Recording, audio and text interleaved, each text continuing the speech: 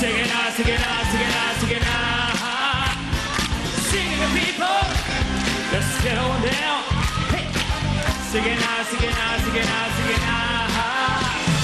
I work as a physical therapist, a host, a personal trainer, and a singer. Sa umaga, nandun ako magpo-personal training. Pagdating naman ng gabi, pasok naman ang hosting at saka ang singing. Hindi kasal ang mom and dad ko. 1988, umalis ang mom ko for US para magtrabaho. So nung umalis yung nanay ko at naiwan kami sa lola ko. Life with Lola, maganda, challenging.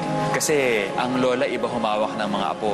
Pero ngayon, ah, medyo humihina na yung kakayahan niya. Habang nagpa-practice ako, nasa, nakaupo siya sa may isang side, tapos bigla siyang lalapit, ko-correct yung pagkanta ko. Our singer-songer, Jim Carrey.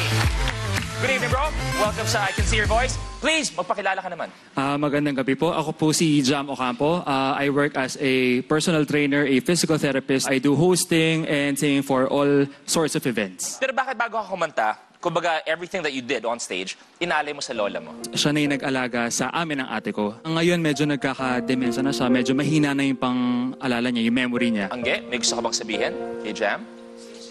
Yengay, thank you. Ay, si Yeng. Si Yeng ang pumili dito. Jam, maraming maraming salamat sa iyo. Bumilib kami lahat dahil si Jam ay isang singer! At meron ka pa rin 10,000 pesos.